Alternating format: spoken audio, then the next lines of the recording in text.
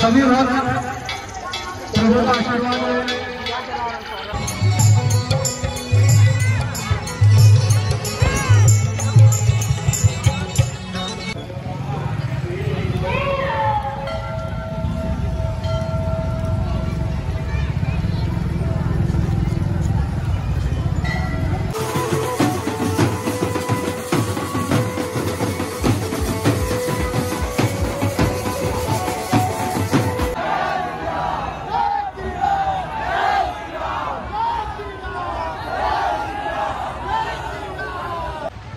है guys welcome back to my new blog so guys आज है बहुत